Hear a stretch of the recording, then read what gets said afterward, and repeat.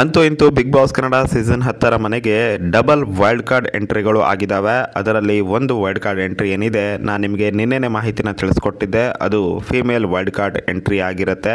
ಹಾಗೆಯೇ ಅವರು ಪವಿ ಪೋಪ ಅವರು ಆಗಿರ್ತಾರೆ ಅನ್ನೋದ್ರ ಬಗ್ಗೆ ಕೂಡ ಮಾಹಿತಿನ ತಿಳಿಸ್ಕೊಟ್ಟಿದ್ದೆ. ಹಾಗೆಯೇ ನಿನ್ನೆ ವಿಡಿಯೋದಲ್ಲೇ ಹೇಳಿದ್ದೆ ನಾನು, ಇದು ಹಂಡ್ರೆಡ್ ಪರ್ಸೆಂಟ್ ಕನ್ಫರ್ಮ್ ಕೂಡ ಹೌದು ಅಂತ ಹೇಳಿ. ಅದೇ ರೀತಿಯಾಗಿ ಪವಿ ಪೋವಪ್ಪ ಅವರು ಬಿಗ್ ಬಾಸ್ ಕನ್ನಡ ಸೀಸನ್ ಹತ್ತರ ಮನೆಗೆ ಮೊದಲ ವೈಲ್ಡ್ ಕಾರ್ಡ್ ಎಂಟ್ರಿಯಾಗಿ ಬಿಗ್ ಬಾಸ್ ಮನೆ ಒಳಗಡೆ ಬಂದಿದ್ದಾರೆ.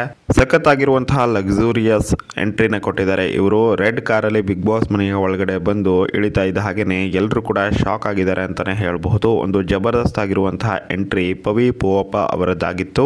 ಇವರ ಜೊತೆ ಮತ್ತೊಂದು ವೈಲ್ಡ್ ಕಾರ್ಡ್ ಎಂಟ್ರಿ ಕೂಡ ಆಗಿರುವಂಥದ್ದು. ಆದರೆ ಅವರು ಫಿಮೇಲ್ ಕಂಟೆಸ್ಟೆಂಟ್ ಅಲ್ಲ, ಮೇಲ್ ಕಂಟೆಸ್ಟೆಂಟ್. ಆ ಮೇಲ್ ಕಂಟೆಸ್ಟೆಂಟ್ ಯಾರು ಅಂತ ನೀವು ಕೇಳೋದಾದರೆ ಇವರ ಹೆಸರು ಅವಿನಾಶ್ ಶೆಟ್ಟಿ ಅನ್ನೋದಾಗಿರುವಂಥದ್ದು. ಇನ್ನೊಂದು ಇಂಟ್ರೆಸ್ಟಿಂಗ್ ವಿಷಯ ಏನಂತ ಗೊತ್ತಾ?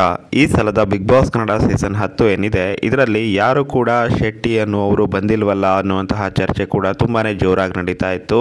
ಸೊ ಇವಾಗ ಇವರು ಅವಿನಾಶ್ ಶೆಟ್ಟಿ ಎಂಟ್ರಿ ಆಗಿದ್ದಾರೆ.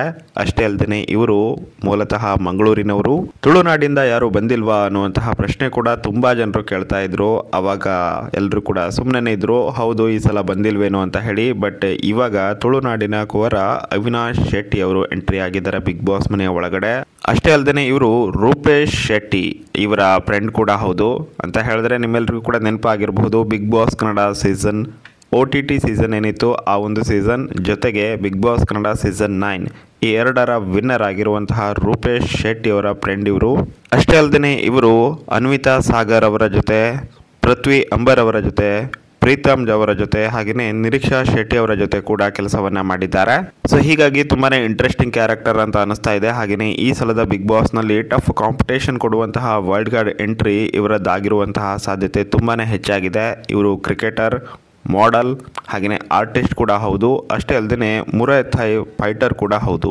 ಈಗಾಗಲೇ ಸಿನಿಮಾಗಳಲ್ಲೂ ಕೂಡ ಕಾಣಿಸಿಕೊಂಡಿರುವಂತಹ ಅವಿನಾಶ್ ಶೆಟ್ಟಿ ಅವರು ಬಿಗ್ ಬಾಸ್ ಮನೆಗೆ ತುಂಬಾ ಸೂಟೇಬಲ್ ಕಂಟೆಸ್ಟೆಂಟ್ ಅಂತ ಕೂಡ ಅನಿಸ್ತಾ ಇದೆ. ಇವರೇನಾದರೂ ಬಿಗ್ ಬಾಸ್ ಮನೆಗೆ ಬಂದರೆ ಉಳಿದಿರುವಂತಹ ಕಂಟೆಸ್ಟೆಂಟ್ಗಳಿಗೆ ಟಫ್ ಕಾಂಪಿಟೇಷನ್ ಕೊಡೋದಂತೂ ಸತ್ಯವಾಗಿತ್ತು. ಅದೇ ರೀತಿಯಾಗಿ ಇವಾಗ ಇವರು ಎಂಟ್ರಿ ಕೂಡ ಕೊಟ್ಟಿದ್ದಾರೆ.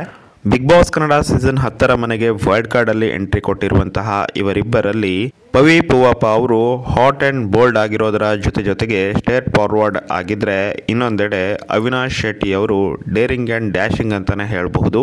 ಇವರಿಬ್ಬರಲ್ಲಿ ಅವಿನಾಶ್ ಅವರಿಗೆ ಇನ್ಸ್ಟಾಗ್ರಾಮಲ್ಲಿ ಹದಿಮೂರು ಸಾವಿರ ಫಾಲೋವರ್ಸ್ ಇದ್ದರೆ ಅದೇ ಪವಿ ಪೂವಪ್ಪ ಅವರಿಗೆ ಬರೋಬ್ಬರಿ ಒಂದು ಲಕ್ಷದ ಹದಿಮೂರು ಸಾವಿರಕ್ಕಿಂತನೂ ಹೆಚ್ಚಿನ ಜನರು ಇನ್ಸ್ಟಾಗ್ರಾಮ್ನಲ್ಲಿ ಫಾಲೋ ಇದ್ದಾರೆ.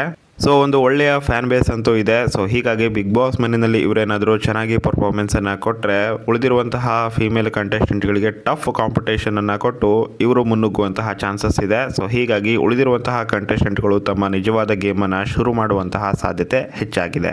ನಿಮಗೇನಾದರೂ ಪವಿ ಪೂವಪ್ಪ ಅವರ ಬಗ್ಗೆ ಡೀಟೇಲ್ ಆದ ವಿಡಿಯೋ ಬೇಕು ಅನ್ನೋದಿದ್ರೆ ಕಮೆಂಟ್ ಬಾಕ್ಸಲ್ಲಿ ಕಮೆಂಟ್ ಮಾಡಬಹುದು. ಹಾಗೆಯೇ ಅವಿನಾಶ್ ಶೆಟ್ಟಿ ಅವರ ಬಗ್ಗೆ ಡೀಟೇಲ್ ಆದ ವಿಡಿಯೋ ಬೇಕು ಅನ್ನೋದಿದ್ರು ಕೂಡ ಕಮೆಂಟ್ ಮಾಡಿ. ಆ ಎರಡು ವಿಡಿಯೋಸನ್ನು ಅತಿ ಶೀಘ್ರದಲ್ಲಿ ಅಪ್ಲೋಡ್ ಮಾಡ್ತೀನಿ ಅಂತ ಹೇಳ್ತಾ ವಿಡಿಯೋನ ಇಲ್ಲಿಗೆ ಮುಗಿಸ್ತಾ సాయిదిని thank you so much for watching